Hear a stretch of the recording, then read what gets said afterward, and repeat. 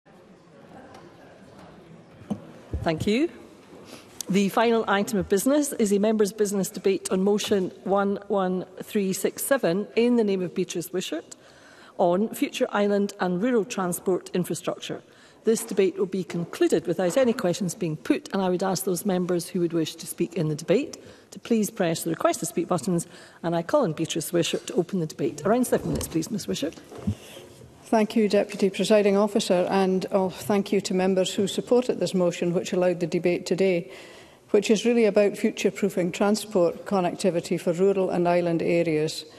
We already know the impacts of poor transport connectivity on women, fixed-income households, older and younger people.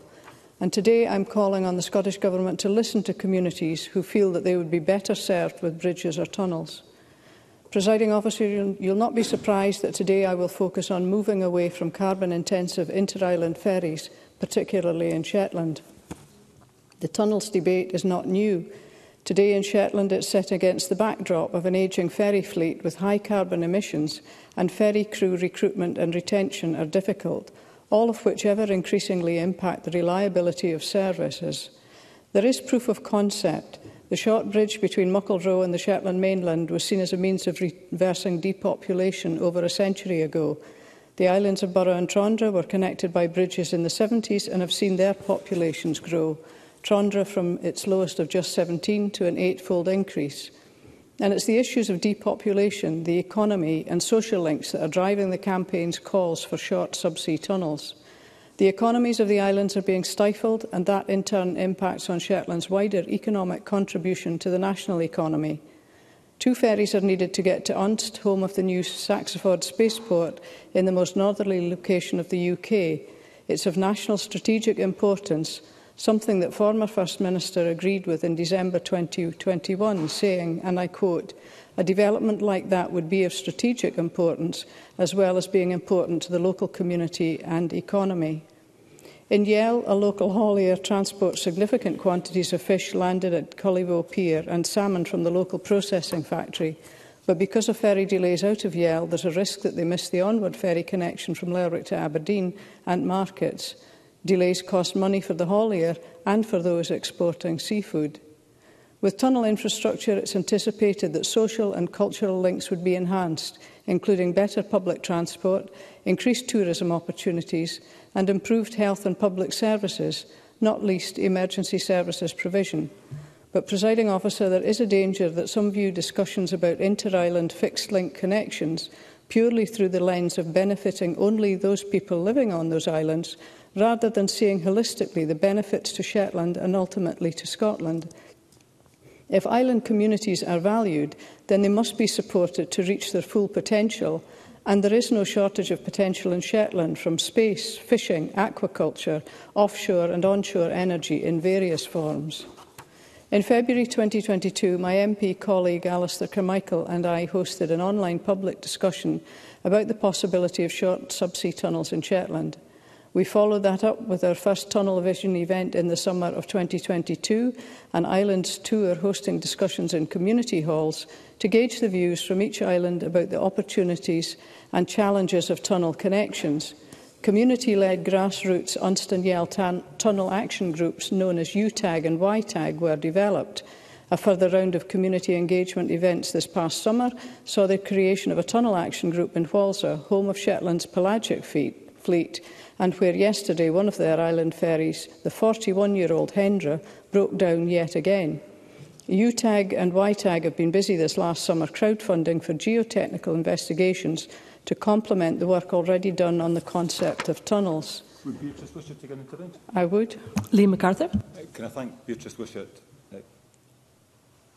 Can I thank Beatrice Whitworth for taking an intervention, but also congratulate her on the work that she and Alistair Carmichael have been taking forward. I think the point that she makes about the, the community-led aspect of this campaign is vitally important, and certainly the message I pick up speaking to my own constituents in, in Orkney is very much amongst the younger population that the drive for these fixed links is coming, and that in terms of retaining population in some of our island communities, this is absolutely integral going forward.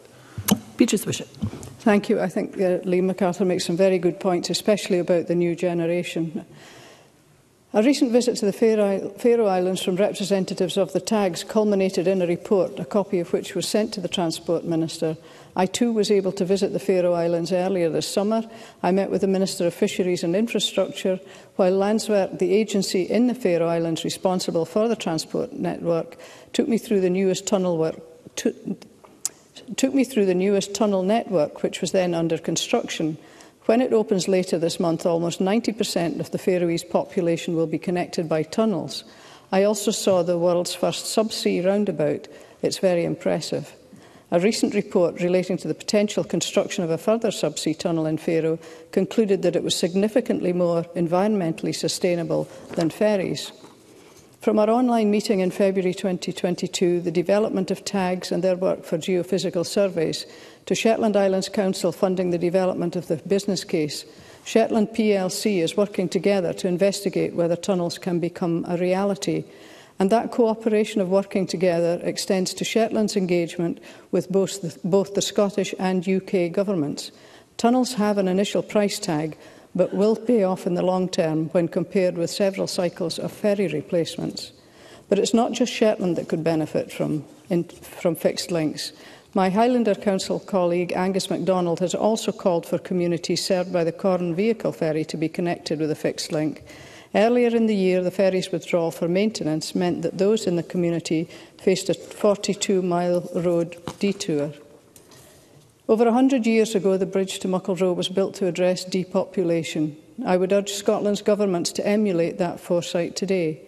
Investment now in sustainable transport infrastructure, like tunnels or, bridge, or bridges, would serve communities for many decades to come and would avoid replacing ferries with shorter lifespans. Vessels are often continuing in service well beyond their intended lifespan for the purposes of savings, like the 41-year-old Hendra. Too often these savings are short-term and wiped out by the eventual need to replace the asset.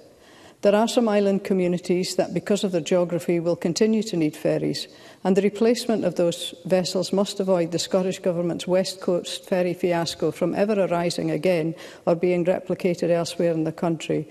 Where communities make the case for tunnels, we should look beyond the next 20 years and invest in the future – To conclude, presiding officer, I agree with the sentiment that fixed links could improve communities' access to goods and services and make islands more attractive for people to live and work in and visit, a sentiment the former Cabinet Secretary for Net Zero Energy and Transport spoke of in this chamber in January 2022. Political will and investment are crucial to ensure progress. Thank you, presiding officer. Thank you, Ms Wisher. And I now call Karen Adam to be followed by Sharon Dowie. Ms Adam. thank you, President Officer. And I firstly want to thank and congratulate Beatrice Wishart for getting this debate to the Chamber today. And I do know that she has a deep commitment to serve her island constituents. And I'm grateful to stand before you to speak in a matter of vital importance to Scotland, particularly for rural and coastal communities like those I represent in Bampshire and Bucking Coast. And while I admit we are not an island, there are threads of the same running theme when it comes to connectivity. The coastal aspect of rural living adds in an extra dimension which raises issues which must have proportional attention in Parliament. And while we're here to acknowledge the significance of connectivity in Scotland's rural and island areas, I want to acknowledge the Parliament's commitment to Scotland's net zero targets, as it's essential that our actions align with these environmental aspirations. The essence of my address today is the importance of localised decision-making in infrastructure projects. Our rural and coastal communities, each with unique sets of needs and challenges, must have a say in the projects that directly impact their lives.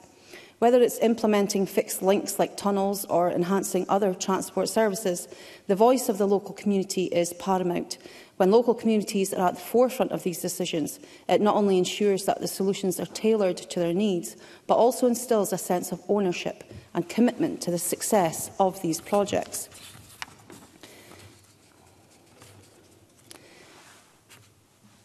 Pardon me. Safety and economic vitality are at the heart of our concerns Connectivity is not just a matter of convenience, it is a lifeline that supports local economies, tourism and ensures the safety of our residents.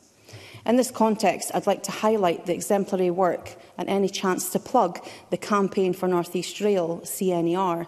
As an ardent supporter, I've raised their work in this chamber and previously met with the former Transport Minister, Jenny Gilruth, to discuss the transform transformative impact of rerailing the North East. The Scottish Government's allocation of funds from the Just Transition Fund for CNER's feasibility study marks a significant step forward. They awarded a quarter of a million pounds from the Just Transition Fund. That feasibility study has made great leaps forward in the past few months, with the appointment of world-leading consultancy firms ACOM and Stantec to explore the possibility of passenger and freight services running north of Dice and onwards to Peterhead and Fraserburgh for the first time in more than half a century. And my office's recent conversation with Jordan Jack, the General Secretary of CNER, highlights the campaign's focus on collaboration with local interest groups. This approach, aligning with the former Transport Secretary's advice, ensures that our efforts in improving transport infrastructure are inclusive and community-driven. Yes, I will. Douglas Lumsden. Yeah, I thank the member for taking an intervention. Would she also like to see the duelling of the, the A90 north of Ellen up to places like Peterhead and Fraserburgh? Karen Adam. I think that needs to you know, come under part of uh, another feasibility study. But also we need to start looking out of the box and looking more towards rail. And I, if you meet with CNER, which I hope you have, and talk to them about their future plans, we're talking about getting cars off the road and decarbonising. And I think if we look towards electric rail for the future, I think that would be the best investments to make. So um, I'm looking forward to the feasibility study that's due in the spring of 2024. It's eagerly anticipated and I hope it will play a crucial role in shaping our transport landscape. The need for an integrated approach in transport, one that involves all modes, from ferries to rail and deeply engages with local communities, cannot be overstated. The motion before us today is not just about building tunnels or enhancing ferry services. It's about building a more connected, sustainable and inclusive Scotland, one which I know our now Transport Minister is dedicated to create. And I thank her for her communications and outreach with local projects in my constituency, which I have raised with her.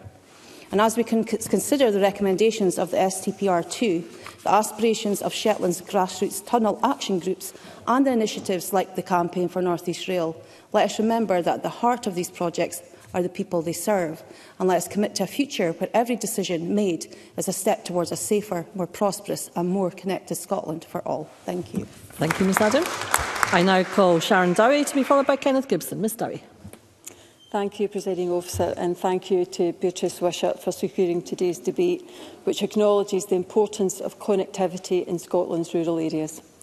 We all agree that reliable transport infrastructure is essential for local communities, economies and tourism. The member's right to mention Scotland's net zero targets because reaching them will depend on better transport services across the country. The stark reality is that various aspects of Scottish life, particularly our economy, receive less attention as we move towards more rural areas. In Ayrshire, there is a pressing need for a much better transport network. Take the A77. It serves as the main artery connecting the Central Belt to Northern Ireland through the port at Ryan. It's a vital route for businesses, haulage companies, commuters, farmers and also brings tourists to the beautiful southwest corner of Scotland. That's why it's unbelievable that the average speed on such an important road is just 37.7 miles per hour. The government's own South West Scotland Transport Study identified the A77 as the slowest A road in the country.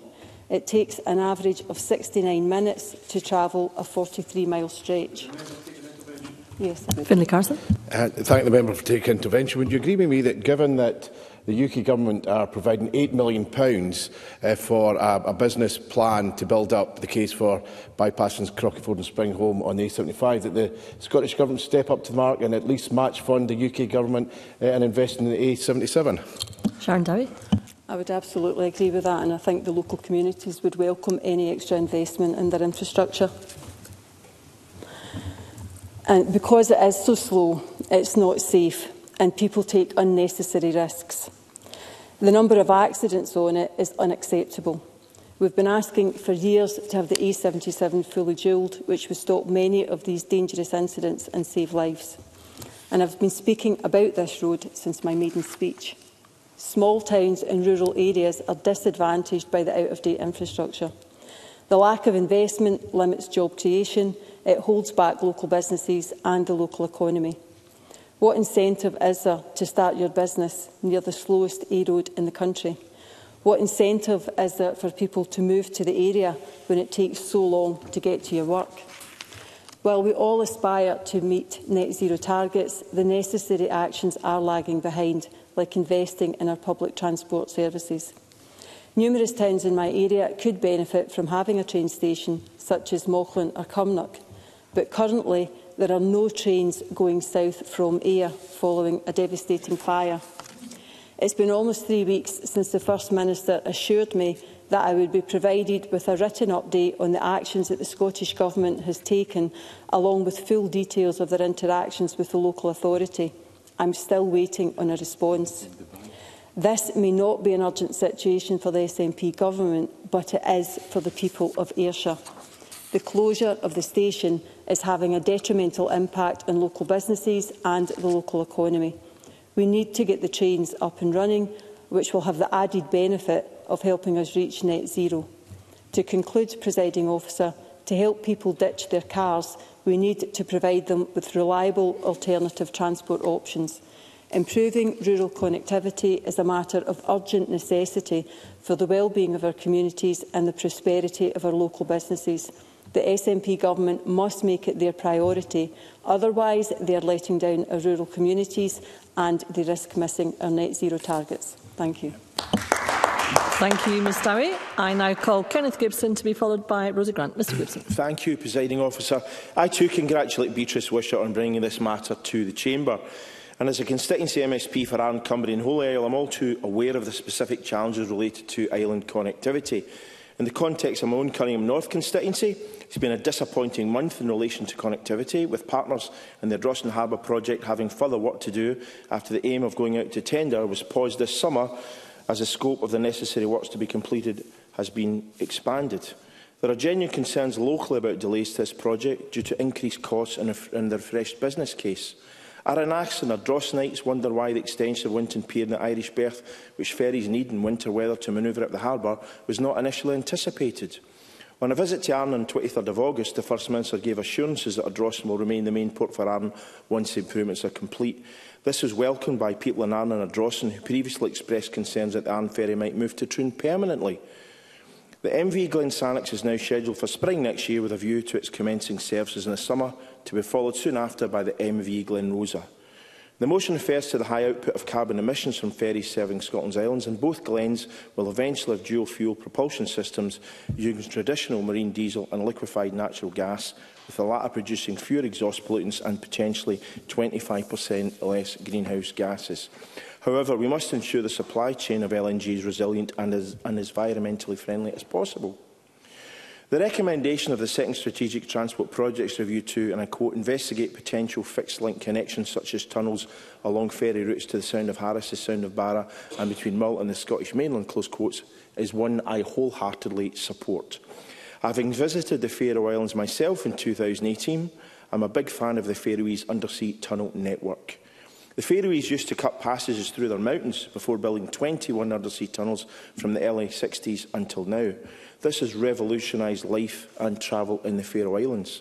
For example, the travel time between the capital Torshavn and Runavik has fallen from an hour and 14 minutes to just 16 minutes. Such tunnels are also good value for money, fully connecting communities through the Faroe archipelago, enabling them to thrive and grow. A planned tunnel from the southernmost island of Suderoy to the end of Sandoy of around 13 to 15 miles is estimated to cost around £390 million. Pounds. When one considers the price tag of the Queen's Ferry crossing, which was a tenth that length, or new ferries which have to be crewed and are impacted by the weather, tunnels can be cost effective.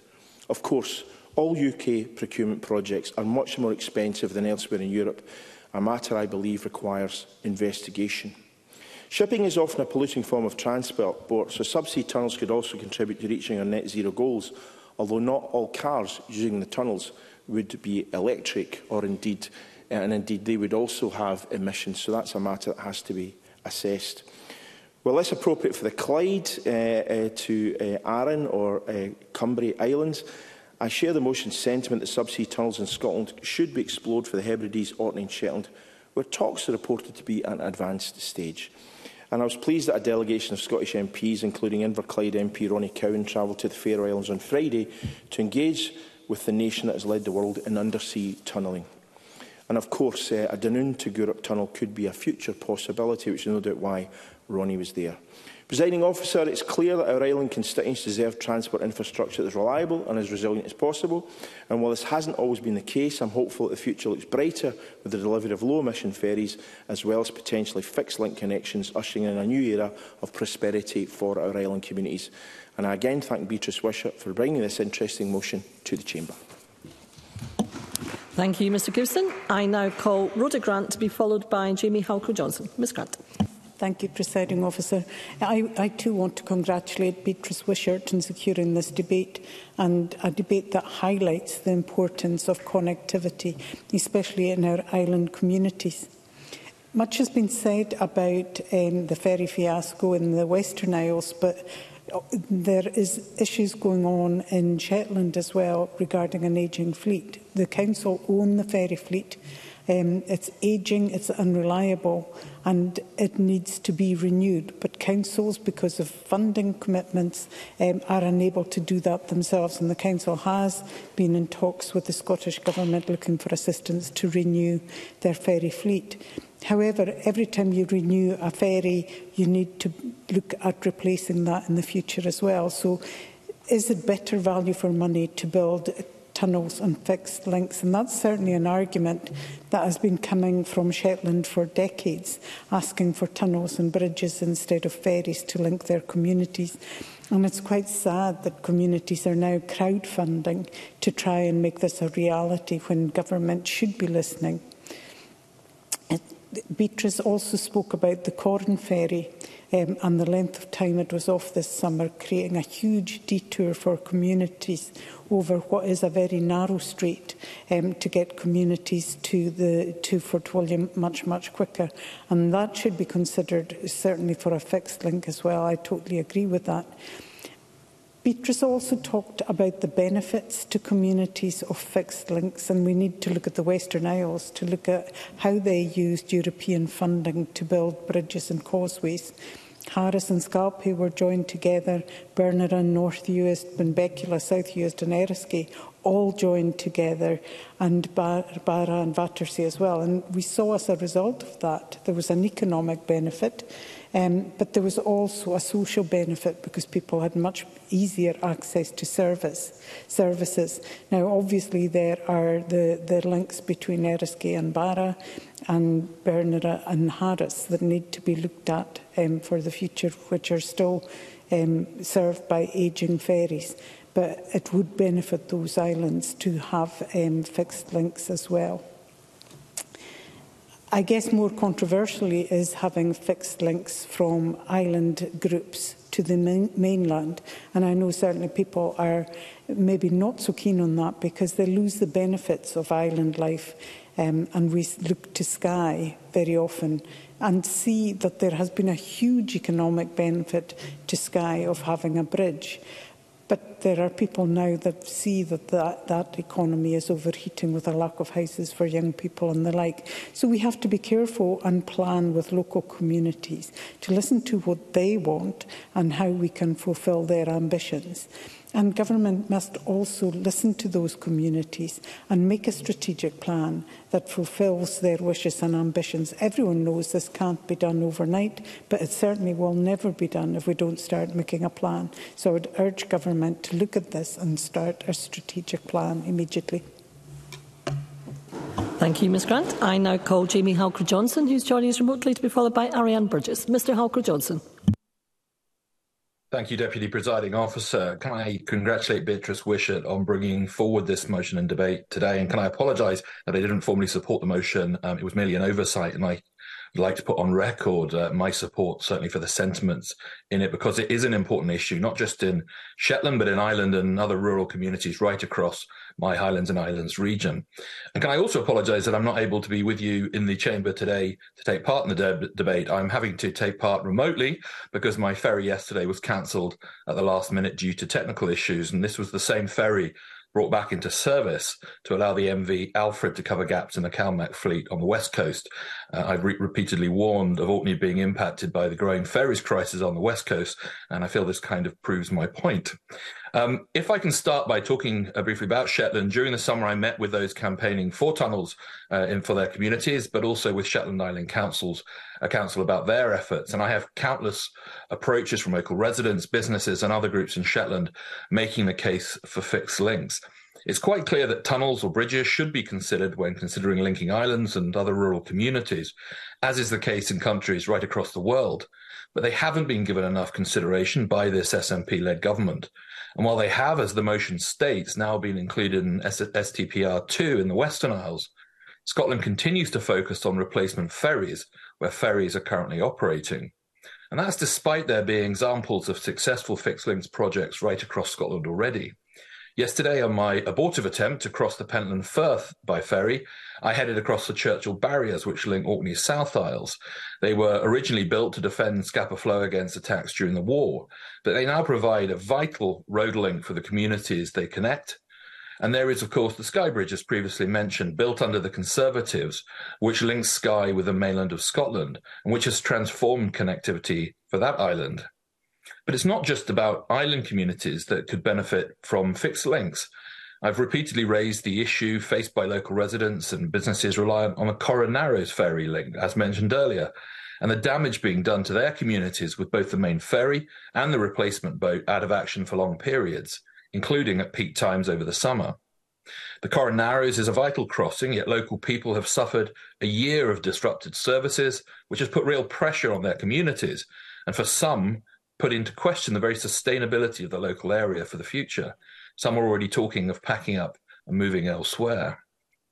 Now, in the Ch- Chancellor's autumn statement, the UK government announced £20 million worth of funding could be made available for infrastructure improvements. And while this is welcome, it won't help with the immediate, immediate challenges being faced by local people. There are many within the local community, as highlighted by local surveying, who want a fixed link, whether that's a bridge or a tunnel. And I would support that ambition. And looking longer term, it should be part of any consideration of how to deliver a coronaries crossing for the future. However, in the shorter term, those local residents and businesses need a ferry service they can rely on, and they need it now. Most in the communities I spoke to when I was there in the summer don't care if it's an electric ferry or another diesel ferry, they just need it to run when it's supposed to. So, can I ask the Transport Minister, either now or in her closing speech, if she can advise what consideration, if any, is being given by the Scottish Government in consultation with the Highland Council, who operate the route, to procuring or securing a diesel replacement vessel to strengthen resilience across the Corran Narrows. Deputy Presiding Officer, I could speak for longer and in more detail about some of the other areas which could be included, but this is only a very short, although very welcome debate. I hope, however, it has highlighted to the Transport Minister and to her SNP and Green colleagues just how important these links are just how devastating the loss of these links be, can be to our local communities. And I hope that she will accept that, although recently rejoining the Scottish Government herself, her party's record on supporting existing and delivering new lifeline links to our island and remote communities simply hasn't been anywhere near good enough. Thank you. Thank you, Mr. Halker Johnson. I now call Ariane Burgess to be followed by Douglas Ross. Ms. Burgess. Thank you, and I'd like to also thank Beatrice Wishart for uh, bringing this debate on island connectivity and fixed links and framing it in the context of our climate ambitions. I'd also like to thank the Shetland Grassroots Tunnel Action Group, because without them, I don't think we would be here this evening uh, spurring Beatrice on to bring the motion here. And I'm really grateful to be able to speak in this debate on behalf of communities I represent in the Highlands and Islands. As I was preparing for this debate, I actually remembered, and people have talked about this evening about how Shetland has been making a noise about fixed links for some time, and I remembered uh, a Shetland newspaper headline pipeline revealed ambitious plans for a six-line isle-wide underground rail network uh, with a fantastic image of the like a London Underground imposed on the Shetland Isles. Well, that was published on the 1st of April 2011. An April Fool but a tremendous provocation, I think, to uh, having these conversations about the importance of fixed links. Fixed links are transformative, and that's been already described this evening. Economically and socially, they bring benefits. And also, I think if they are part of a multimodal shift of transport, they can also bring those environmental benefits.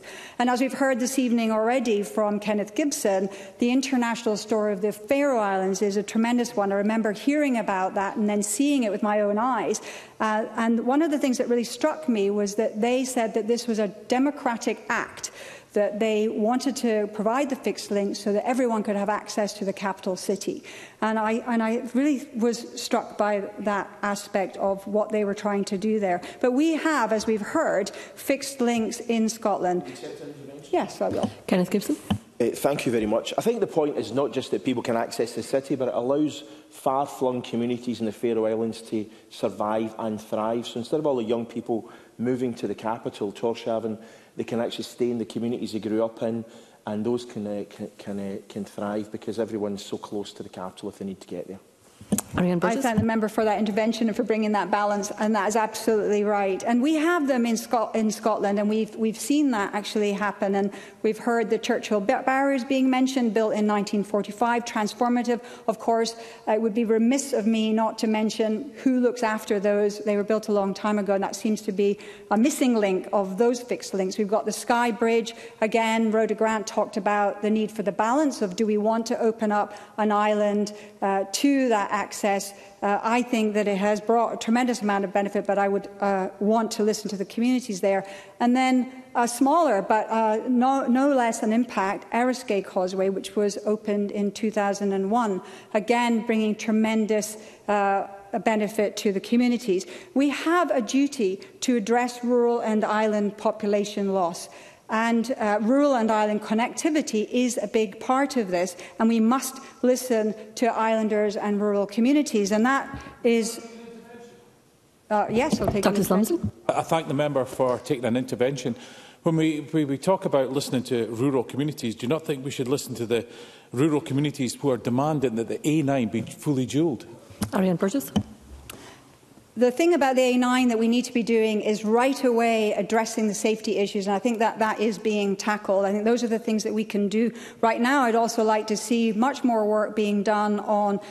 addressing the dueling of the uh, rail line between Inverness and, uh, and Perth. Um, So, yeah, so as I was saying, we have a duty um, to rural and island communities and they must be listened to. And I think that that is reflected in the work of Transport Scotland. And I'll quote, the second Transport Project Review points out that the current ferry routes on the Sound of Harris, Sound of Barra and between Mull and the Scottish mainland face a number of issues and challenges. Replacing ferry services with fixed links, bridges, causeways and or tunnels can improve reliability, connectivity, capacity and travel times and allow for a wider reconfiguration of services. And the STPR2 recommends that further work is undertaken on business cases to better understand the benefits, costs and challenges associated with these interventions. And of course, I would uh, align my thoughts with Beatrice and others here around uh, bringing the Shetland fixed links into that um, process, as well as, as mentioned by Jamie Harcourt Johnson, the Corran Ferry. But in all of this, we need to be considering the context. We are in current cost of living uh, uh, crisis. Uh, with impacts of inflation, and I hear on both of the committees I sit on the rising cost of construction and the lack of uh, skilled people, uh, often brought on by uh, Brexit. We're also leading up to a budget process that we're going to be hearing about in a few weeks' time. So, how are we going to afford these uh, initiatives? And one of the things that I wonder about is could we invite business and industry, who will certainly benefit from fixed links, to participate through investment? For example, those in space, energy, or salmon farming sectors, uh, to consider actually uh, investing in our links. And to conclude, pr presiding officer, we all do need to get behind fixed links, uh, but we need to ensure that we are listening to the communities who are taking the lead and that we ensure that we get the right fixed link in the right place. Thank you, Ms Burgess. And I now call Douglas Ross, who will be the last speaker before I ask the Minister to respond. Mr Ross. Uh, thank you very much, Presiding Officer. And it's a, pleasure to take part in this debate. And can I congratulate Beatrice Wishart for securing uh, this debating time? I think we've heard a range of, of positive speeches from uh, around the country, but particularly, and, and rightly so, I think the, the, Highlands and Islands region, a, region I'm proud to, to represent, because this is a, an issue of critical importance to our communities. We've heard and we know about the ongoing issues uh, in the Western Isles and the failure to build uh, ferries which were promised to those communities. Jamie Halcrew Johnson has uh, shown in his own um, contribution today uh, the difficulties of living and working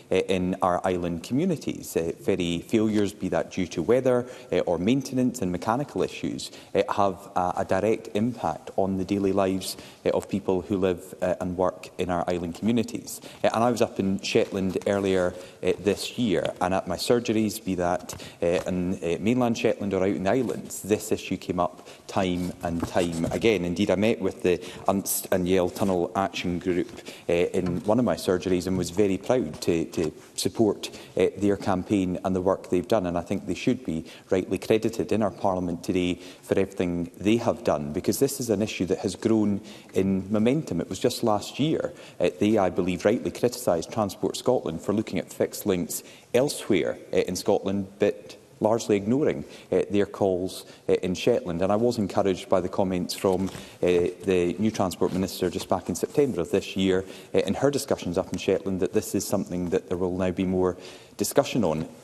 I Anoda Grant commented on this, and, and can I again commend the group uh, for the current online auction uh, that they've got going. Uh, there's 80 uh, lots that are currently up for auction, uh, donated by local businesses and supporters of the group. Uh, and that is commendable, and I wish them every success with it. But it's also disappointing that they have to fundraise in this way for work that I believe should be done uh, by the Scottish Government. They are saying the funds will help get work on the geotechnical investigations and the social social, economic and environmental impact work. That's vital, but surely it should be done by the Scottish Government on behalf uh, of our constituents uh, in Shetland and in these islands. Uh, Kenny Gibson, Beatrice Swisher, Rhoda Grant uh, and many others have spoken about this uh, as being, yes, a big initial cost to build tunnels, but in the long run, this will save taxpayers money. This will be a, a better uh, method to move people between uh, and from and to our islands, but also in the long run, it will, I believe, be a, a uh, spend to save measure that the Scottish Government could take forward. Uh, so I really think the work being done there uh, is something that we all need to get behind and I've been encouraged by what I've heard so far uh, this evening. Uh, and I think we should also look at the impact this will have uh, on encouraging people to move to our islands. There is uh, a big issue getting young people, getting families to move to our islands, uh, and there's no doubt that the unreliable service uh, that is often received from the ferries for various reasons, it uh, does put people off and with fixed links. That could really revitalise some of these communities uh, who have so much uh, to offer. Um, and I would hope uh, that the work done, not just here in Parliament, but we should also uh, recognise the work done in the local council. When I was up in Shetland earlier this year, the chief executive, the leader of the council, the convener of the council, the uh, representatives on the Transport Committee were united in this, and I hope they're encouraged by what they hear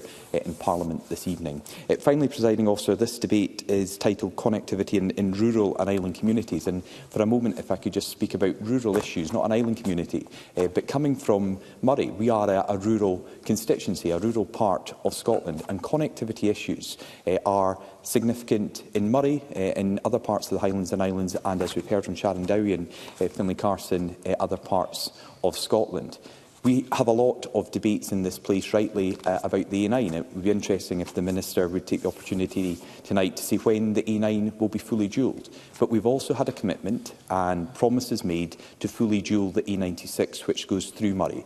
And we rightly hear from Fergus Ewing uh, calling for a, an Airn bypass, but what about the bypass for Elgin? What about the bypass for Keith? These are vital infrastructure upgrades that we need. It's been called for for many, many years by constituents in, Murray's, uh, eh, in Murray. It's been called for by businesses in Murray. That is the connectivity we need to open up further opportunities in Murray. It was a pledge by the SNP many, many years ago. Uh, I don't want to see them backsliding on that pledge because of the Greens in government. That was a promise they made, a promise they have have to deliver and one the people and businesses of Murray expect. Thank you. Thank you, Mr Ross. And I now call on Minister Fiona Hislop to respond to the debate. Around seven minutes, please, Minister. Uh, Presiding officer, I would also want to thank Beatrice Wishart for securing this debate on the role that transport plays in connecting and sustaining all of our island and rural communities across Scotland. Ms Wishart has regularly raised the potential for fixed links to play a part in future thinking and indeed future-proofing connectivity for the Isles she represents. She knows that uh, Inter-Isles connectivity is the lead of Shetland Island Council, but I hope she and other members will be pleased to note that I have met the Council in recent weeks where they relayed their plans for their inter-island transport connectivity programme and look forward to seeing the outcome of their preliminary business case work on short sea crossings. And we have consistently offered the assistance and advice of my officials at Transport Scotland in this process. Of course, this is connected by the drive of UNST and the Yale Tunnel Action Groups uh, to get this research on the table. I also had the pleasure of meeting them in the summer in Lerwick, and as I said at the time, I am interested in this aspect of connectivity. Much is drawn from the Faroese experience, which interestingly and importantly is privately financed and underwritten by the state government of Denmark with the need for reliable access for workers travelling across inter-islands, particularly in developing space and energy sectors, there is clearly a common interest with business. We've heard from members about the challenges and concerns faced by communities in different parts of Scotland. Uh, this very much reflects my own discussions and observations while visiting Shetland, Orkney, Fort William and Mull over the summer and more, more recently Stornoway and in the many virtual meetings that I've held with community groups from Arran, Islay uh, amongst others. Um, the Islands and Connectivity Plan, due to be published, will recognise much of what has been articulated this evening. It will set out that wider understanding and recognition of future needs and strategic vision for the future, as well as setting out the long-term vessel and port plans, and for consultation with our island communities to establish an agreed way forward. Supporting that are the 45 recommendations set out in the second uh, Strategic Transport Projects Review published last December. This represents a repositioning of our transport investment priorities with a focus firmly on how transport can help us protect our climate and improve the quality of people's lives. SBR2 recommends that we continue our significant investment in port and vessel infrastructure to improve our ferry network. There will be six new major vessels serving Scotland's network by 2026, helping to improve reliability and resilience across our networks. This will then be followed by the small vessel replacement programme, which is on track and will deliver vessels between 2026 and 2028. As the motion notes, uh, SBR2 further recommends the investigation of potential fixed links at the sound of Harris and Barra and between Mull and the Scottish mainland, which could improve communities' access to goods and services, making these islands more attractive for people to visit, live and work in. The Convention of the Highlands and Islands meeting, which I attended last week, set out that the initial community sense of desirability for fixed links now be explored. Many officials, uh, sorry, um, my officials and I uh, both understand the critical need to listen to the communities in order to arrive at solutions that work for them and also that opinions on this issue differs, differs between communities. I, I think Rhoda Grant made that point uh, very well. And while we explore solutions to the transport needs of our island communities, we know that the ferry networks will continue to be needed until any suitable fixed link is developed and are operational. We also recognise the challenge for local authorities that have responsibility for ferries, and the Government has provided those councils with more than £178 million in revenue since 2018 to support the running of these services. The Scottish Government continues to work closely with Orkney and Shetland Islands through the ferry task forces, uh, the latest of which was on the 23rd of November when the Deputy First Minister and I met Shetland Islands Council about progressing the work of the Shetland Task Force. I should also point out that on the replacement for the Corn Ferry, CMAL are engaging with the Highland Council, who are responsible for the Corn Ferry future design, um, allowing them to benefit from work on the small vessel replacement programme, which, if implemented, may offer the additional resilience to the local ferry network that being a part of what a standard roll-on uh, roll-off ferry design offers. However, the situation remains that decisions on the future of local ferry services, including the replacement by a fixed link, are decisions for the respective local councils to make. Um, the, uh, the, the issues that I think that we're addressing uh, today have to also be put in the context of the fiscal environment that we're facing. We're clearly operating within an extremely challenging fiscal environment and the government is faced with some very stark decisions Uh, these were clearly set out in the Deputy First Minister's uh, letter to the Finance and Public Administration Committee on the 23rd of November.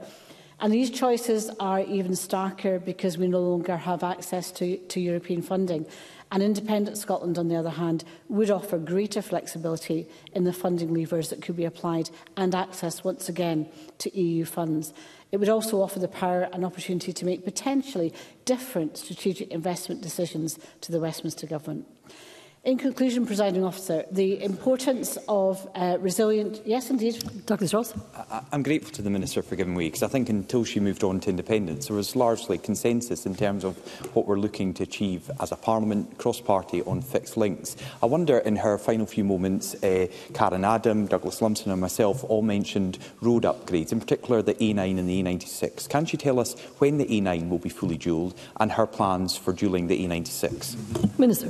Well, as the member member will be aware, because it has been stated uh, a number of times in the, this chamber, the Cabinet Secretary for Transport will make a statement about the A9 that will set out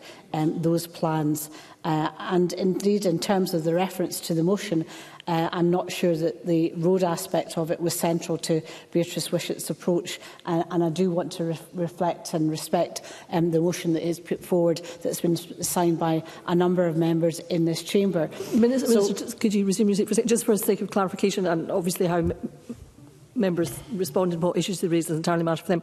I mean, I, I did actually take the trouble to reread the motion at the start, given that the number of issues that were being raised, but I did satisfy myself that the references in the motion to uh, the importance of reliable trans transport infrastructure, for, for example, uh, it has allowed that wider uh, focus in. Minister. No, President Officer, I absolutely accept that point. I think I would need more than seven minutes to cover the range of all the different uh, issues that have been raised um, in the debate today, and that's why I've focused particularly on the points as were reflected in the opening speech by the member who laid the motion in the first place. Uh, President Officer, in conclusion, the importance of resilient, reliable and affordable transport for rural and island communities needs to be addressed with intent and purpose. What this looks like and how it uh, can best serve these communities is something this government continues to work on in close consultation with the communities and local action groups. Financial uncertainties, inflation um, and 10% reductions in our capital budget are the realities that we face. Funds received through the Levelling Up uh, funding fall short of the funding we in our island communities receive from the European Union, which it's meant to replace. And while fixed links could be a solution for some communities at some point in the future, they must be considered at the same time as the short and medium-term needs, as well as that. Um, uh, and that is the challenge, I think, in marrying those two issues. But I can assure members that fixed links are an important consideration as we deliver, deliver future transport solutions for our island communities. Thank you. Thank you, Minister. That concludes the debate and I close this meeting.